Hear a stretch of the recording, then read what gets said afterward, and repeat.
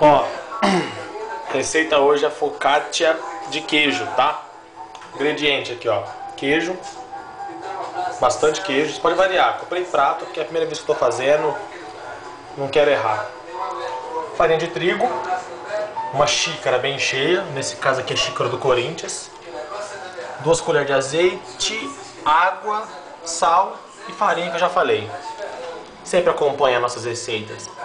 Cerveja e petiscos, que inclusive esse aqui de com tomate, vocês já aprenderam semana passada.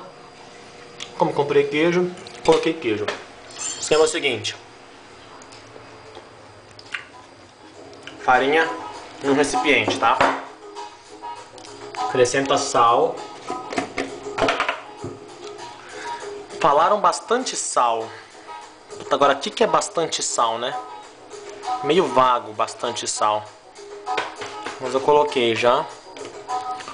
Dá uma misturada. Misturada na farinha com sal. Aí, o lance é acrescentar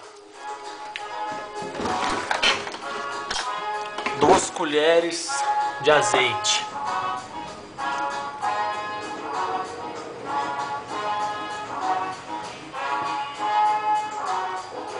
O azeite ali. Como minha colher não tá, não tá indo cheia, eu vou acrescentar mais de duas. Mas é aquele esquema, né? Azeite faz bem pro coração. Então é sempre bom azeite. Não erra. Então vai errar na massa.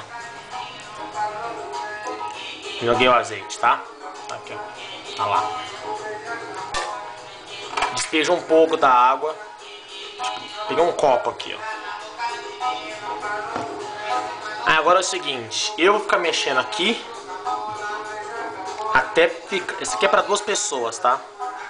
Então eu vou ficar mexendo aqui e vou acrescentar água aos poucos, aos poucos.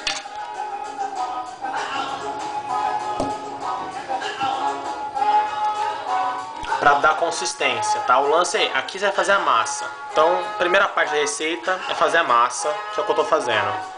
Quando acabar aqui, eu volto e a gente conversa, tá?